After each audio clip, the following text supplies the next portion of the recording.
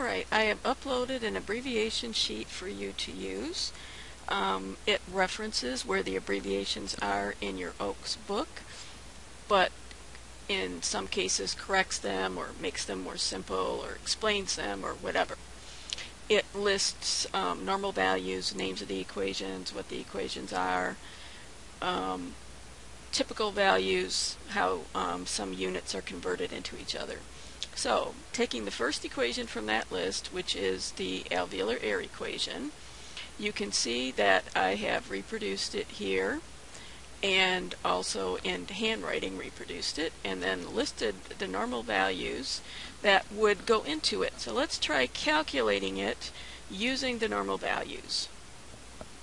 So we're solving for P large AO2 and the normal values have been plugged in for everything. The FiO2 the percentage of oxygen normally in the air is 21%, barometric pressure 760 torr, water vapor pressure in the lung 47 torr, CO2 arterial, which is um, what is represented in the lung as CO2, 40, and then the respiratory quotient, which is 0.8. So now I'm going to have done the first step of the math here where I took the 760 minus 47 and came up with 713 which will be multiplied by 0.21 and then I took the 40 and divided by the 0.8 which gives me 50. If you use your calculator and carry these out you should come up with the same results.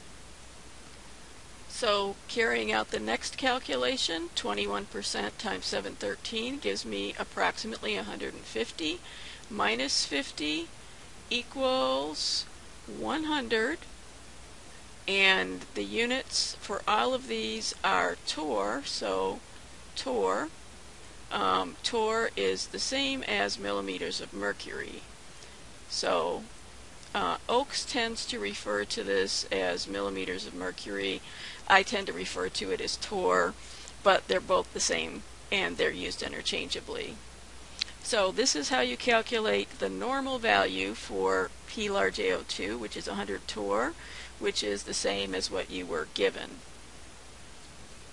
Okay, so I've cleared away all of the values that we used before, and now we're going to calculate the P large AO2 when we don't know what it is, using some other values that we're going to insert.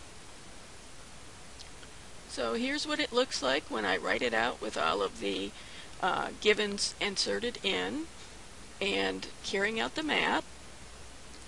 If I uh, subtract 47 from 746, I get 699 and then 46 divided by 0.78 is 59.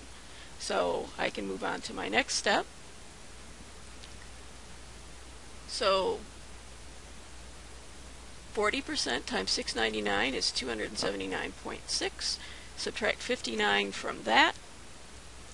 The answer when you subtract them is 220.6 torr. So this is how you carry out the alveolar air equation.